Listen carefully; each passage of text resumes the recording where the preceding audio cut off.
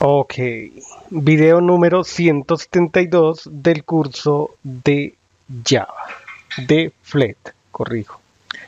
Bien, entonces eh, avancemos aquí al componente radio, que es un componente de selección. Los botones tipo radio permiten seleccionar una opción única desde dos o más opciones. Supongamos que nos piden el nivel académico. Está el básico, secundario, nivel universitario, máster, etc. Entonces, entre esas opciones seleccionaremos una sola, digamos la nivel universitario. Solo podemos elegir una, ¿vale? Aquí ya vienen unos ejemplos. Eh, es un ejemplo básico de un radio group. Eh, así se conoce ese control, un radio group que agrupa varios componentes de tipo radio. Ok. Listo. Entonces podemos cerrar estas pestañas. Sí, control K, control W. Em, creemos una carpeta que se llame radio. Ahí creamos un archivo. init.py importamos flet con el alias flt importamos todos los elementos desde el módulo flet este sería el título. Eh, escribamos aquí radio.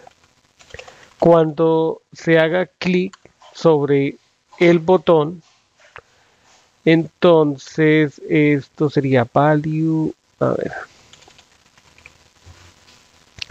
Su color favorito es.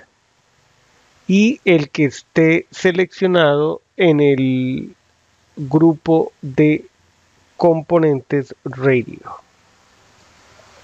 Vale. Entonces, digamos aquí RAT. Como es un grupo, dejemos radio group. RGP, digamos color. Vale.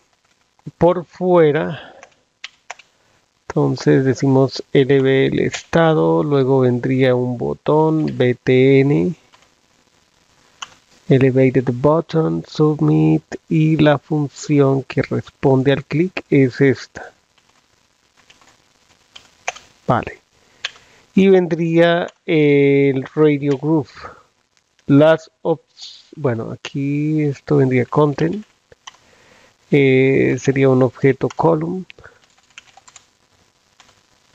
Ahí creamos el radio valor rojo label rojo hacemos lo mismo para el verde y el azul.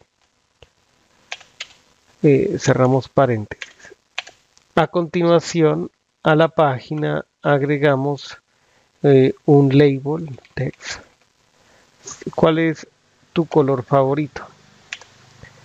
Eh, viene el grupo de radios, el botón y el label para indicar cuál es la selección. Bien.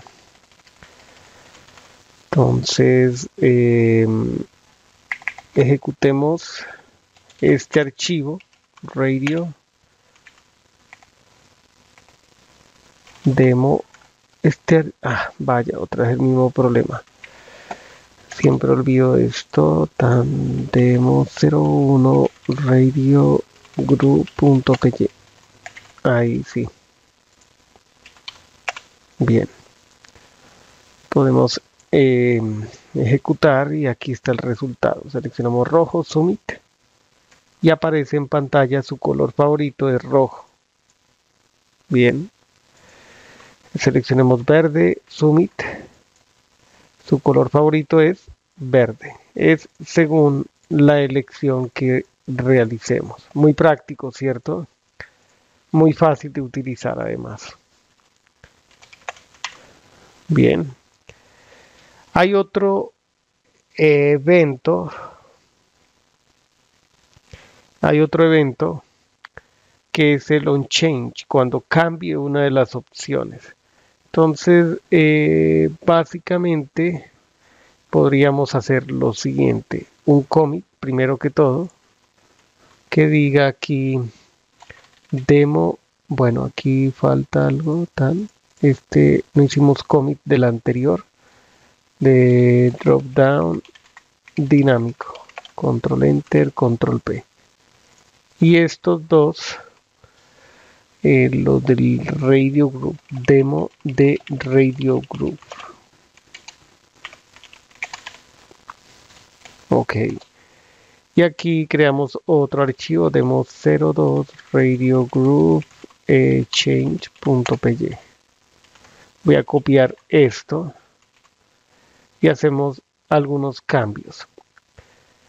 En este caso no necesitamos botón, no necesitamos botón, es decir, nos deshacemos de esto.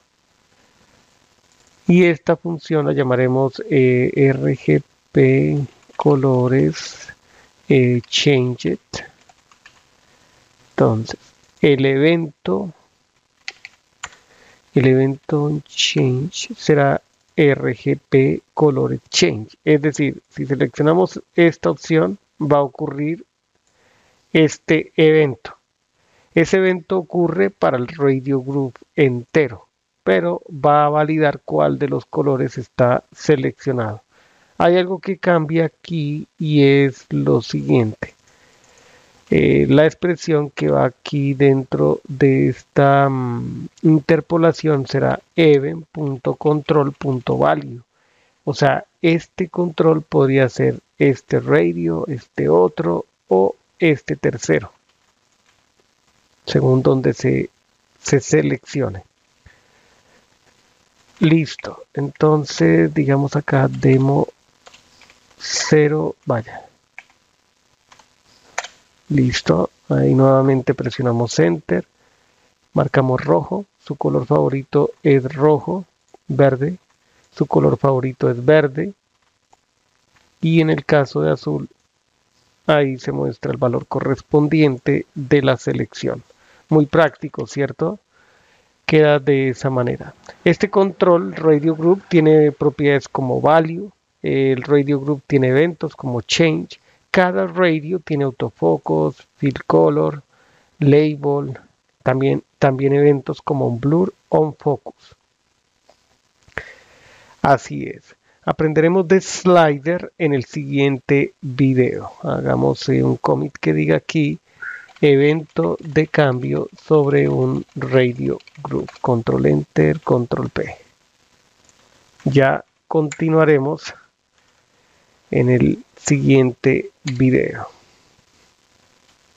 Ok.